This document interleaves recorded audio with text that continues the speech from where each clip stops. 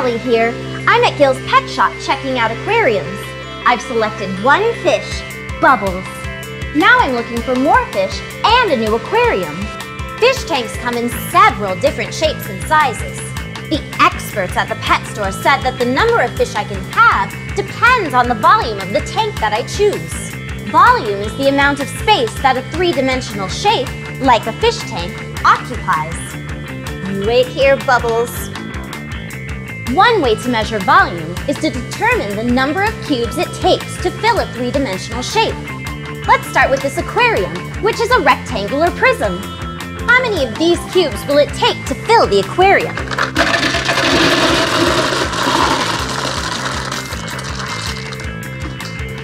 This doesn't work. We'll need to stack the cubes so that they fill the aquarium without any gaps. The dimensions of each cube are 1 inch by 1 inch by 1 inch. So the volume of one cube is 1 cubic inch. The total number of cubes that will fit in the aquarium equals the volume of the aquarium in cubic inches. Let's first determine the number of cubes that will cover the bottom of the aquarium. Each row contains 6 cubes, and there are a total of 12 rows. One layer is made up of 72 cubes. The bottom of the aquarium, or base of the prism, measures 6 inches by 12 inches so the area of the base is 72 square inches. If the aquarium were only 1 inch tall, the volume would be 72 cubic inches. But it takes 8 layers of 72 cubes to fill this aquarium. That's 576 cubes. Since each layer is 1 inch tall, the height of the prism is 8 inches. So the volume is 576 cubic inches. Let's describe what we did with a formula. We found the volume of this aquarium by taking the area of the base times the height of the prism. We usually represent area of the base with a capital B and height with a lowercase h. For a rectangular prism, the area of the base equals the length of the base times the width of the base. This aquarium measures 6 inches by 12 inches by 8 inches. So the volume is 576 cubic inches. Like I said, fish tanks come in all shapes and sizes. How would you like your cool new home to be a triangular prism or a cylinder? Let's try a triangular prism. The volume is found in the same way as a rectangular prism, by multiplying the area of the base by the height of the prism. As you know, the base of this prism is a triangle, Again, we can cover the base using cubes, but the cubes do not fit exactly like in the rectangular prism. How many cubes cover the base of the triangular prism? Here's six, seven.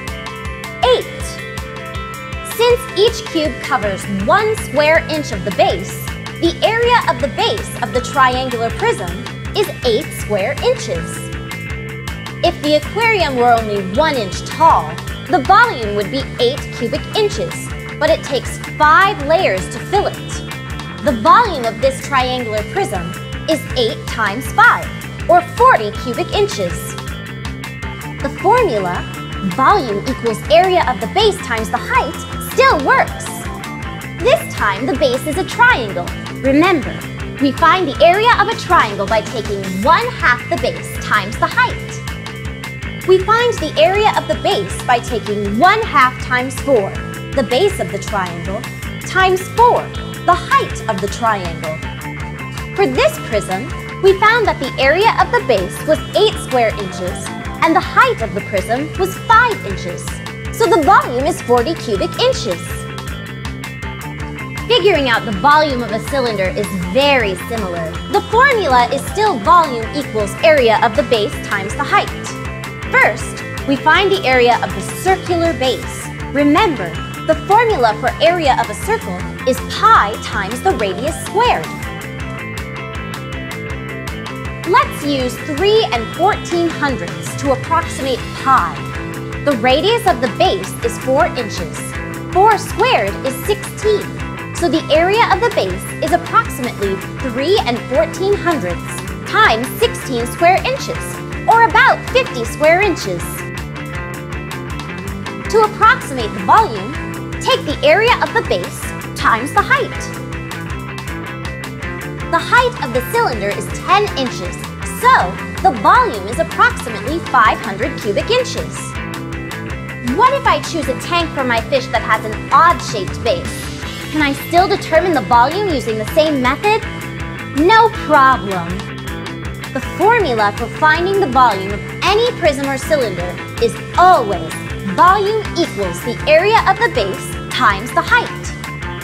The area of this base is equal to 20 square inches. Next, we take 20 square inches times the height, which is 10 inches. The volume is 200 cubic inches. This tank is too big for just you, Bubbles.